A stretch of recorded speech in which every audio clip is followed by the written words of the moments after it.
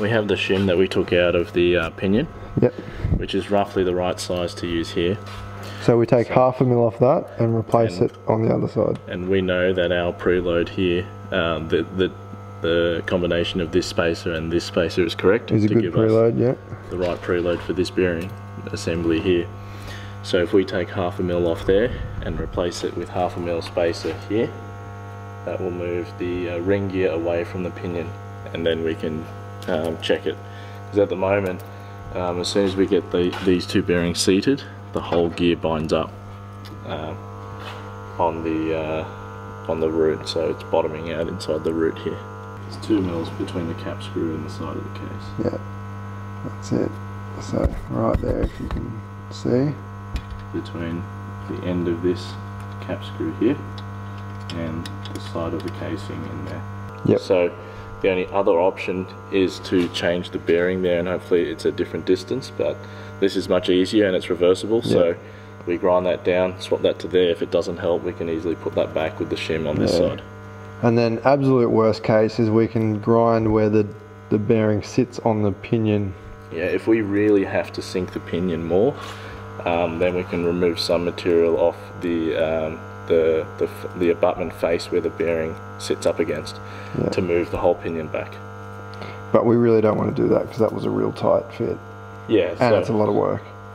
it, it really depends how the contact patches um, appear on the on the gear. Yeah. But, so you can see we got some paint on there. We did a rough a rough look before, um, which confirmed our thoughts. Um, so at, at the moment, that's the easiest way to uh, achieve what we uh, will experiment, so we can get at least get the whole gear set to bolt up properly and um, get a decent Then pattern check it properly. on there. Yeah. All right.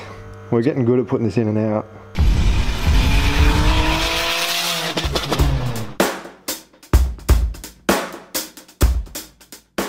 Alright guys, so this is a surface grinder.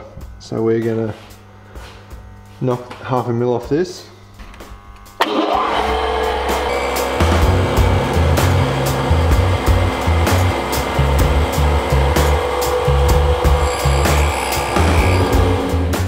Guys, so surprise surprise, it is now day two.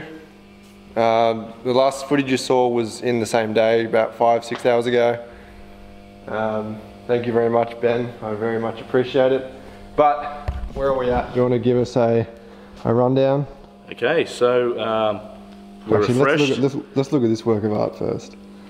So we just knocked up a um, little pulley uh, to go on the back of the crankshaft uh, flange and this is to check the preload on the pinion bearings. So what we'll do is, uh, you may you remember this, may you may remember,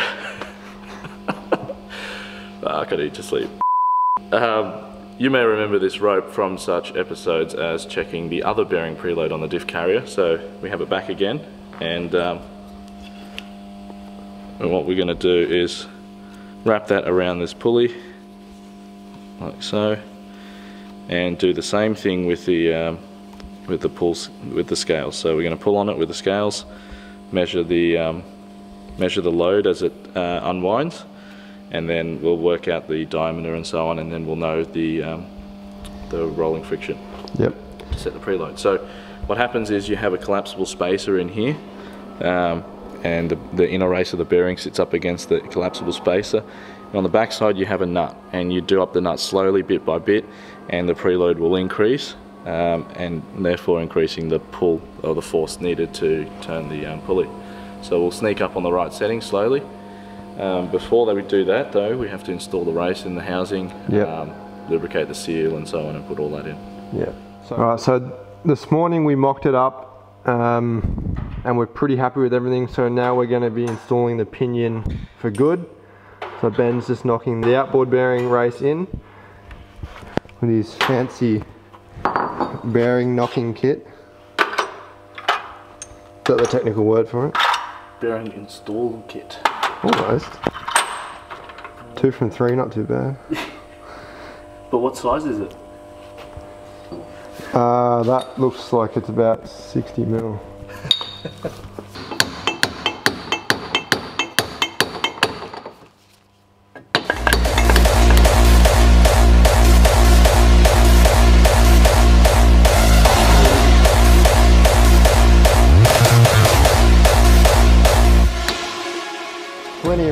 swing, mate.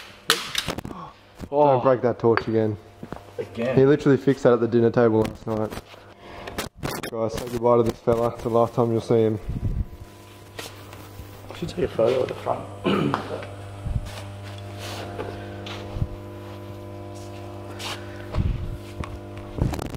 Photo shoot. Always remember to put some oil in the cage.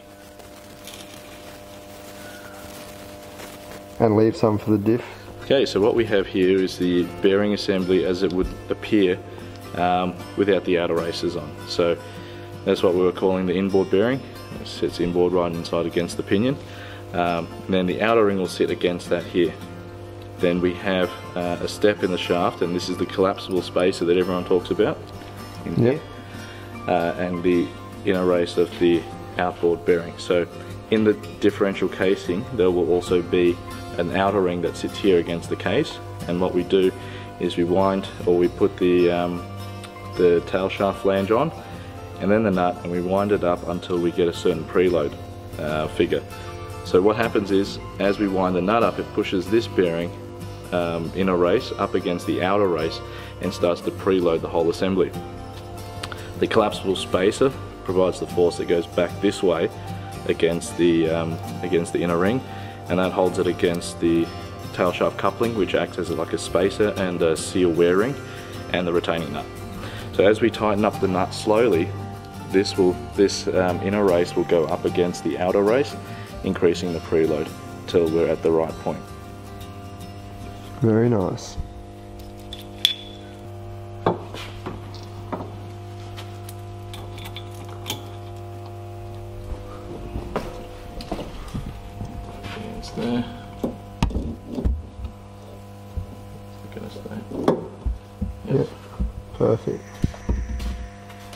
Alright, so we've just used a series of spacers and then the nut to basically pull the pinion uh, outer bearing onto the, the pinion shaft to get that started.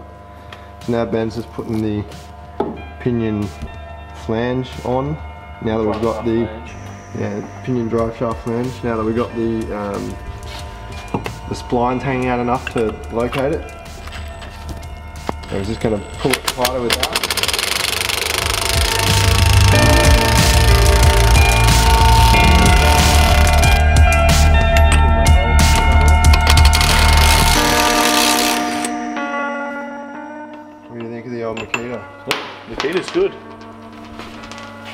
Good. Very impressed. Less impressed about the Ryobi failing. I know. That was going real well until the variable speed trigger decided to. Well, the whole speed control thing. Yeah, everything. So the whole speed control thing on the not so trusty Ryobi seems to have packed it in. So there's only full speed on the trigger, and the speed control at the top doesn't do anything. So previously it had three different sort of Maybe a, uh, another Bengineered video. Yeah, trip to Bunnings, give me a new one. depends, Actually, how, yeah. depends how old it is. Um, They'll probably, they'll probably still do it. yeah, so anyway, that's that's a bit of a shame, but Alright, so now the bearing is all seated. We can pull that back off and then put the seal in, is that right? that's right.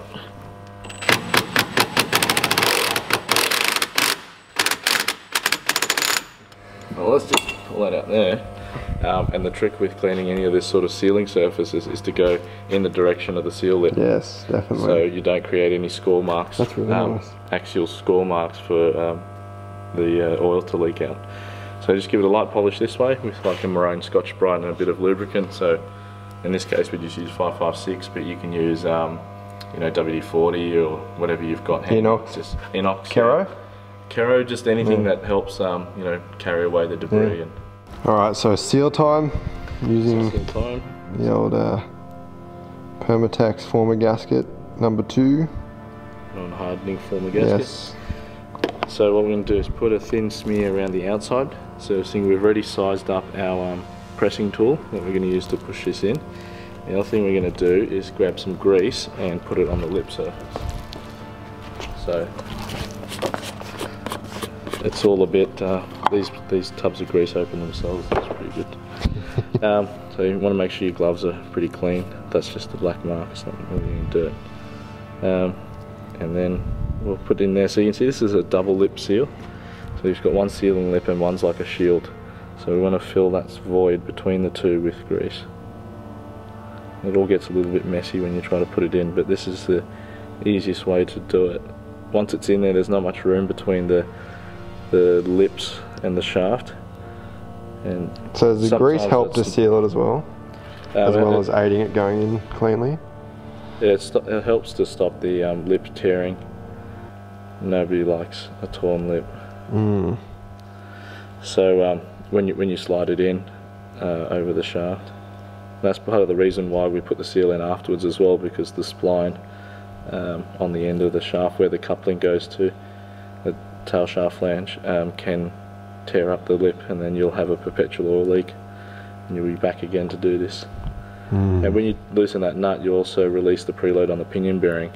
So it's very hard to get it back into the same spot unless you like accurately mark it and so on. Yeah. Alright. Okay, so it's all lubed up.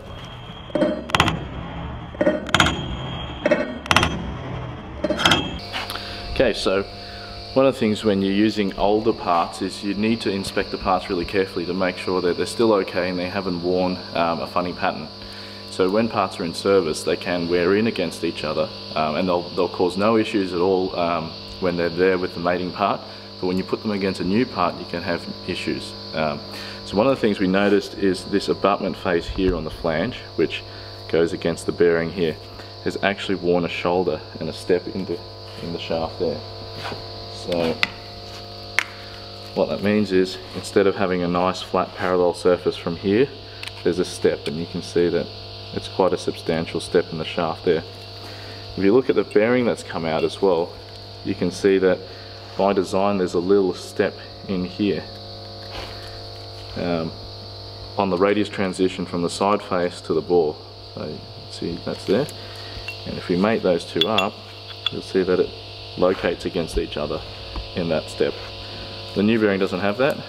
Um, so what will happen is uh, when we bolt it up, depending on how big the radius is on the other bearing, this high spot that's remaining here will butt up against the bearing. Then what will invariably happen is that little step there will wear away and you'll lose your bearing preload and that's quite a substantial distance of preload that you'll lose. So you need to make sure all the parts are in good order. So what we'll do is we'll chuck this up, um, make sure we can grip onto it carefully and uh, properly and if we can we'll just clean that lip off it. Yep.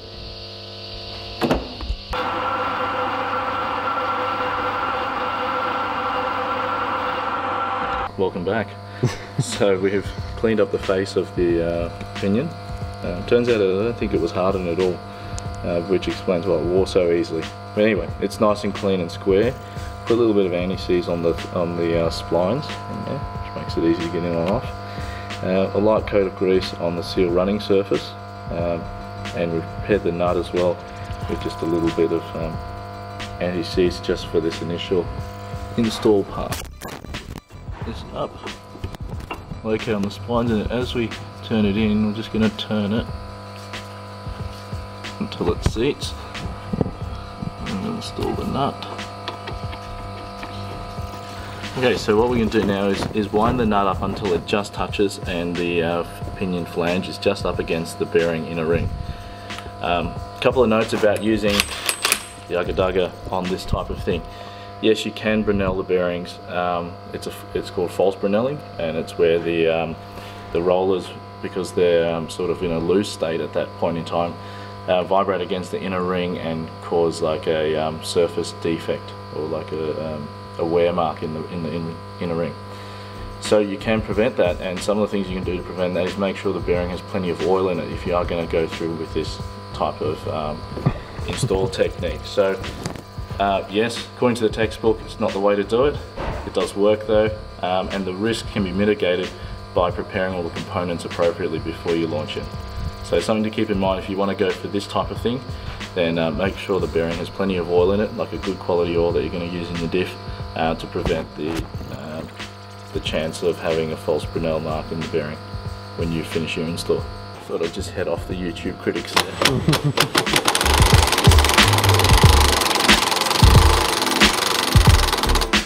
That does feel lovely. Oh, Do you want to, do you want to play with it? Yeah. It does. Okay, just a fraction tighter. It's about one kilo. According to that, it's 1.35 to 2.3. That's what you want.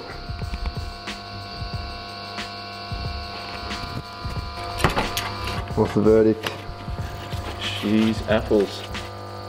Was it two kilo? Uh, just over two. Yeah. Just So you want in between. double, triple check. 1.35 and 2.2, I think it was. Yeah. Sounds about right. Pinion's done. Pinion's done. Check backlash of the. Yep, so we'll put the, diff center back in. Um, check the diff center.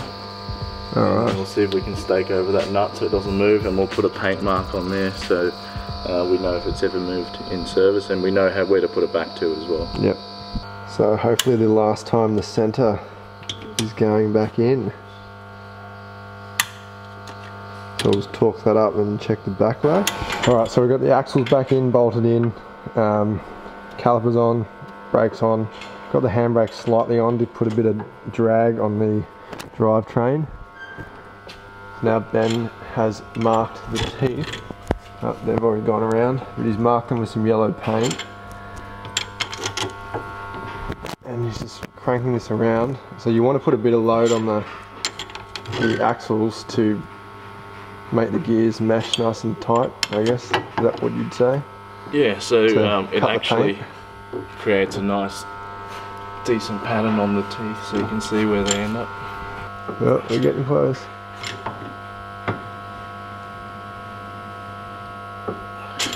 One more. Yep.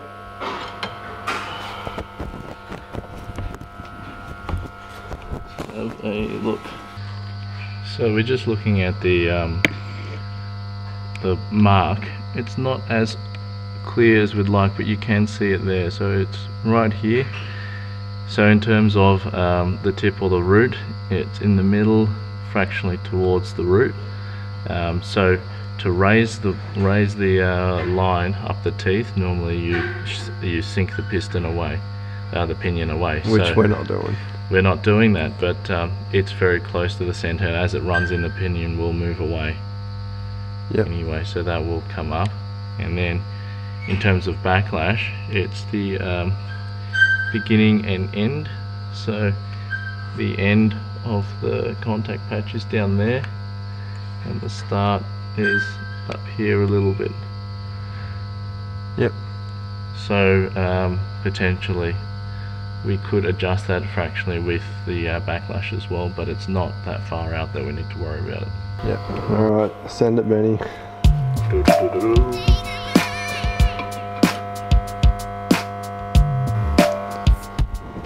Finally. That's the oil we're running. Penrite Pro Gear 80 W140 full synth. Test drive. First impressions.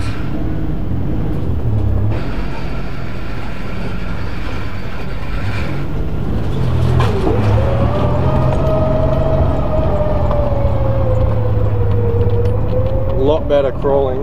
Yeah. You seem to crawl up that hill pretty easy. Yeah. I've still got to get used to how low I guess I can get the revs. Yeah. but-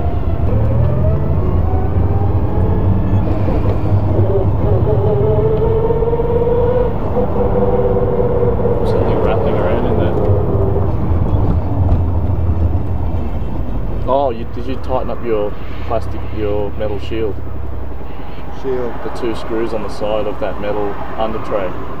Yeah. That's div. Maybe. Uh,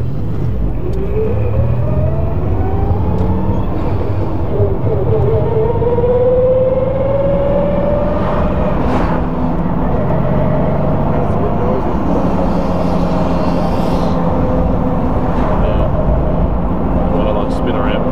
What is it? Clanking? It sounds like a plate's loose or something. Right guys, so as you probably saw in that video, it was kind of cut short. And it feels like something has given us a false positive when we were getting the lash on this. Let me turn this light on. And it's now, what do you reckon, bearing race or something? It's seated. Yeah, it looks like one of the bearing races. I don't know if you could hear in the video, but that's fucking loose now. And that was beautiful before. This rear one uh, most likely wasn't pressed in all the way when the um, the preload was being set. So under load, it's moved. That's Yeah, we're gonna do definitely, yeah.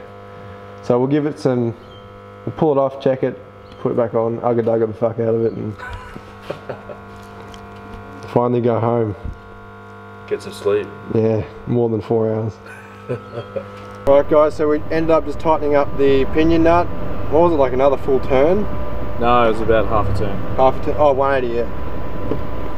Um, so, so far we chucked it on the hoist, we uh, went into first gear, let it run. Um, so far so good. Doing a three point turn in here, it was feeling normal. Um, so we'll go for a drive and Yeah. hopefully this is it.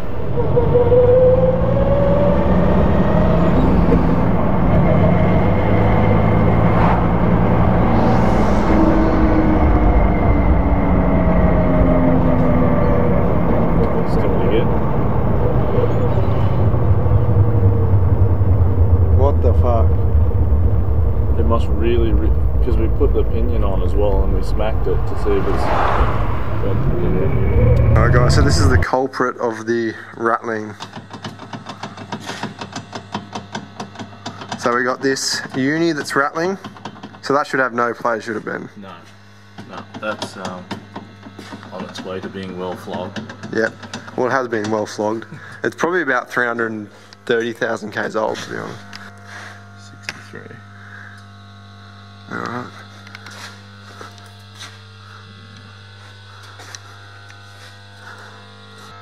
What was 86, the flex? So interestingly, it's here, just before the cap. That's the hottest. Yeah. Restriction? 80. Well, around. Oh, I suppose the cell. Yeah, the it's catalyst. Still radiating from there. Yeah. Everything's at seven.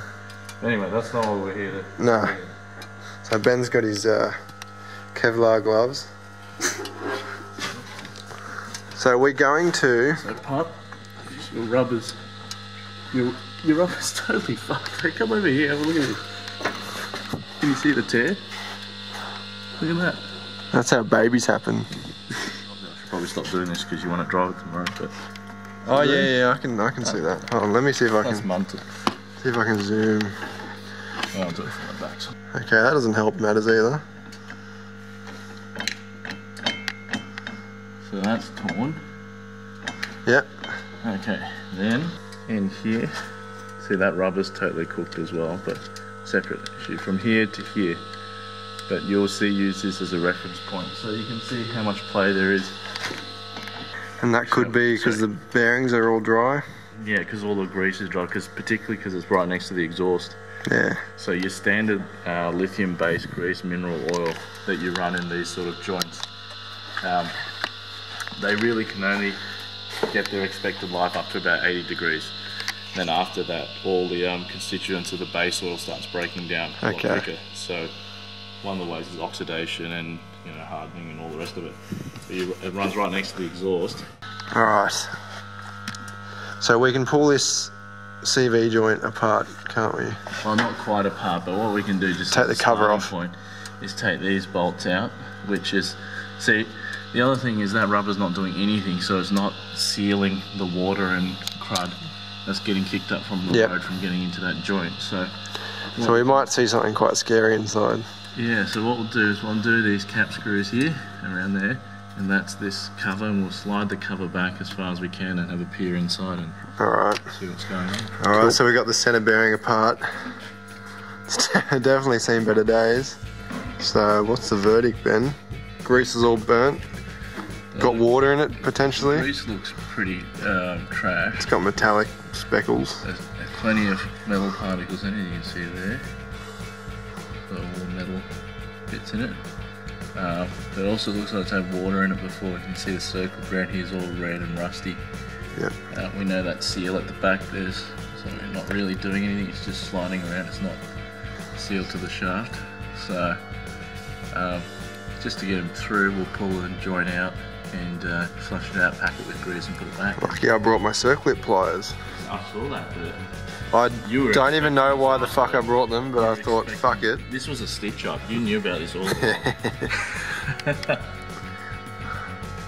so, Alright, so Ben's going to order some new stuff for us tomorrow through his supplier from work, hopefully. And we'll be changing all this stuff for good yeah, when we can. and see the rubbers in here. They're all tray. Yeah.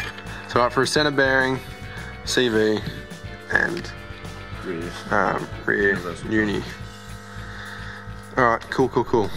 Alright guys, so take three, we took it back again. We had a, was it a slight, slight rattle on Yeah. higher speed and RPM decel. But we're definitely gonna have to get on to doing the tail shaft. So we're Next thinking, I guess, because the ratio is different, the tail shaft's not under load on decel as much. It's not So as it's- loaded, it's- yeah. It's got just a little bit of free play to, to float around and rattle, so we'll see. We will. There's always something. But now that it's in a higher, higher loaded decel, yeah. it doesn't do it. yeah. Like, it shouldn't do it now. It's only as you're going from Yeah. cell to decel. It feels good. It, no noises you can hear. So fourth gear now, cruising along at, at 60. So just go fourth and then come off. That's the tail shaft, right? Yeah. Well, all in all, it's pretty quiet actually. Yeah, it's mate, what an experience.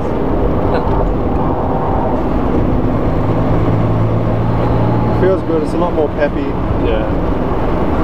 and it's good, it still wants to come in a boost. You feel It's still boost, got enough load. Yeah. Anything from the passenger seat, it feels quite reasonable. Yeah, So I reckon in your daily driving, stay out of that neutral, yeah. um, coasting sort of area for the sake of the drive shaft. The sake of Uh, embarrassing noises. Yeah. But um, just cruise around for a bit, get the oil up to temperature, and Yeah. and the gear set and everything. And then you know, make sure it's still okay, and then just start leaning into it a bit, loading it. See if I can turn around here in a second without having to gear down.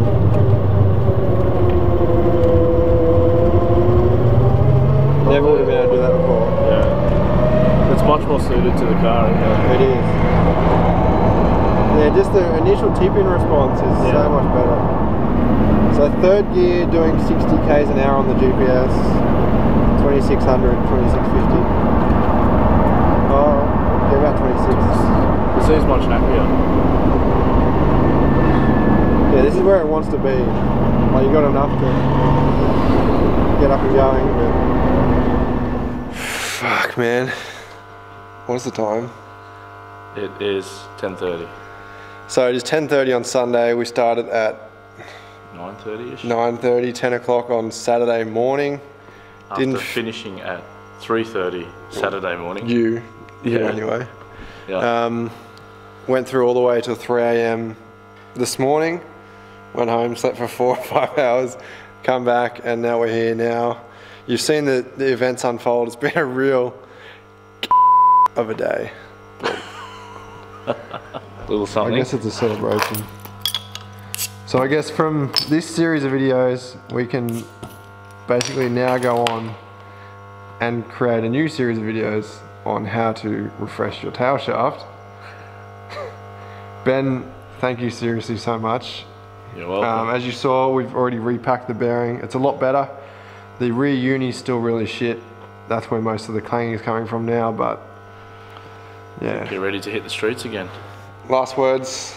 Last. Don't do this if you're not in a machine shop with a lathe, surface grinder. I think I think the thing is that you never know what you might find, and uh, there's always a way to make it work. yeah, it just takes time. It just takes a lot of time. So don't rush.